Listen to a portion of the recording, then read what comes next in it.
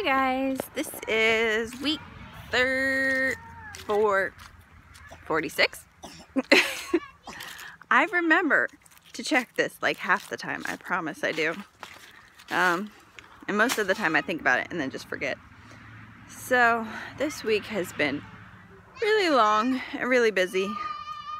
Um, I turned my compost today and got it all layered up with leaves because I didn't really have enough dry matter in there. It was a bit, not slimy, but it was on the mucky side.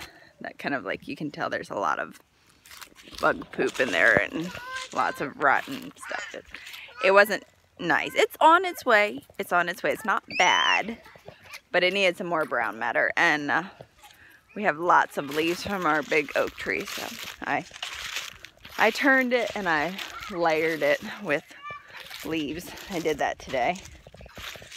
Um, I don't, it's been such a long week. I honestly don't even remember like the beginning of it very much because it's just been one thing after another. I think Tuesday maybe I folded like 10 loads of laundry and put it all away. And see. I really, I don't even remember what else we did earlier this week. There's all kinds of stuff. And Wednesday night, I think it was. Yeah, let's flip that water over so we don't get all wet. No, don't get all wet. There we go. Thank you, Warren. So, um, let's see and get out of this bright sunlight for a minute. So, um, let's see. Wednesday night, I was making tea, like iced tea.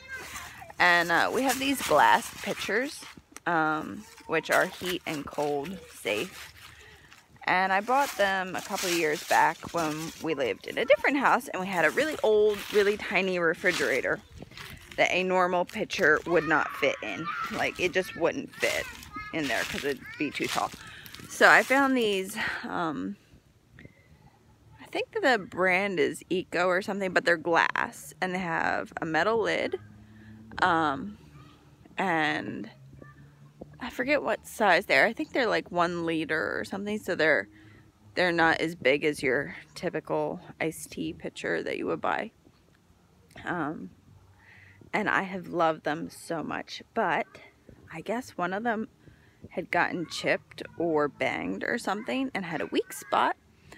And I was making tea and it had the hot tea in it because I put, um, I make the tea in the pitcher and then I mix the sugar in and then I just fill it the rest of the way up with cold water. And uh, when I took the tea bags out and I put the spoon back in to stir the sugar, when the spoon hit the bottom of it, like a hole popped out of one side and poured basically boiling hot tea all over my leg. So that was fun. Fortunately, I have a really big aloe plant, so it's there's only one like spot that's kind of bad. It's okay. and then Thursday, um, Friday we had to go up to the children's hospital for a little thing for the little guy, which went fine, but was, you know, a long day. But the day before I was getting everything ready and I couldn't find the insurance card anywhere which today I was cleaning the van out and it was under the driver's seat. So I have no idea how it got there. That was a whole big, long, I don't know. Anyway, it's just been a really, really long week. Um, it's finally kind of starting to feel like fall again. You know, all the leaves are changing and falling off. The light's fading. The nights are a bit cooler. It's been like foggy every morning, like all night and every morning. And we're going to see that house again tomorrow. Um, or, what? What? Yeah, tomorrow. And, uh, hey, buddy.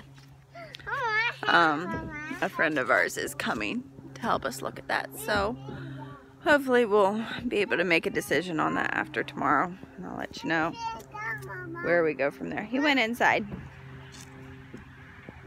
We've also been doing potty training this past week, so.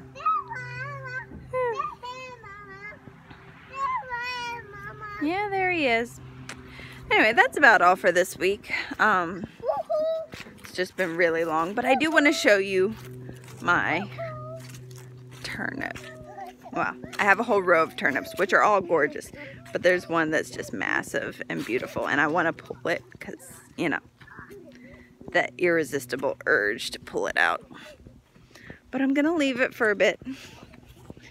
See if it gets any bigger. But I'll show you before I go as a final note to leave you on. There, let's see if I can move that around. Look at these guys. Look at it. It's huge. Like, I don't know, good three inches across. Then there's there's more along in there. And I've got some nice radishes. Oh, what'd you do? All right, well, I guess that's my cue. And time to go. See you guys next week. Bye.